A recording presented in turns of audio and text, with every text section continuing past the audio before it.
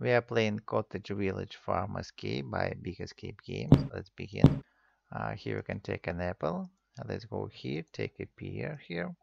Now we have here the pattern of some uh, cells marked. And this pattern we will use uh, later here. Uh, going also here that is the place to use this pattern. Uh, let's uh, do it. Okay we've got another pear now let's look here at this button. It's uh, down left right and so on. So it is uh, to use here. We have uh, down left right up right down left left up. So we've got another pear now going further let's look at these leaves. They turn to the right left right left left and this uh, left and right hint is to be used here on this dog so we have right left right left left. Uh, we've got a tree. Uh, here's another tree.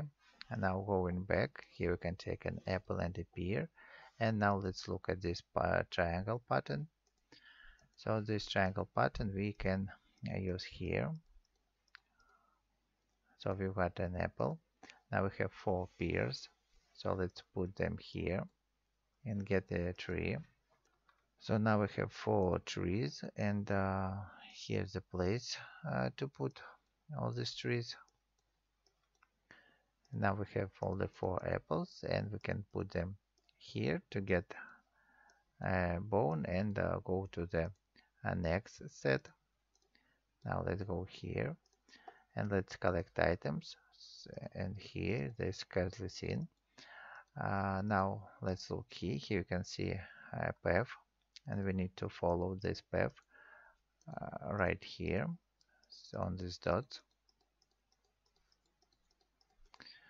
So we've got another plant. Uh, going further let's take leaves here. Here's the key.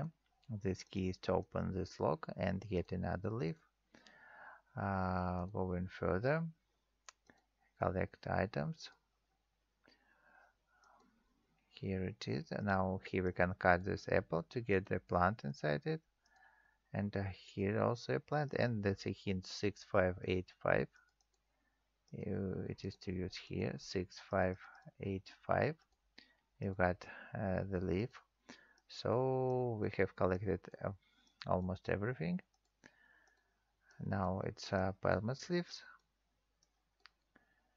and the last set of leaves we can put here to get the final diamond and put it and open the passage to escape.